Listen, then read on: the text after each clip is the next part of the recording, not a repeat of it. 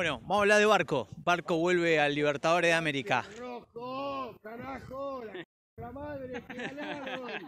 Silbidos, ¿indiferencia o aplausos? Aplauso y ovación. Para mí Barco es un chico del club que dio la vida por Independiente. No, me- no me olvido más del penal en el Maracaná, que el chabón dijo, dame la pelota, lo pateo yo y no trajo la copa acá.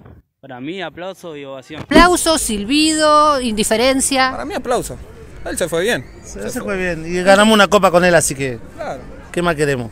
Bueno, hoy vuelve Barco al Estadio Libertadores de América. ¿Silbidos, aplausos o indiferencia? En mi caso yo lo agradecería porque es un jugador que representó la camiseta independiente y dio la vuelta al Maracaná. Eh, mi- los jugadores que salen campeones independientes se merecen el respeto, agrandan la vitrina. No, hay que aplaudirlo, hay que recibirlo bien. Es un jugador que se hizo de las inferiores del rojo.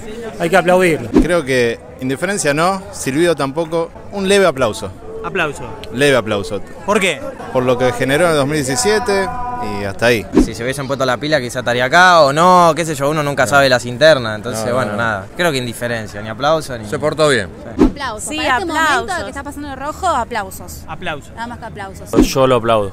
Lo aplaudo porque el pibe demostró que tiene mucho juego, lo demostró en el Maracaná y en todos los partidos que jugó. Así que un fenómeno. No, aplauso. ¿Por qué? Aplauso y porque cuando se fue, no se fue mal con la hinchada, sino se fue mal con la, con la dirigencia. Y creo que el que estuvo mal fue, fue la dirigencia con él. Él donó plata para hacer canchas y, y bueno, ya sabemos lo que pasó.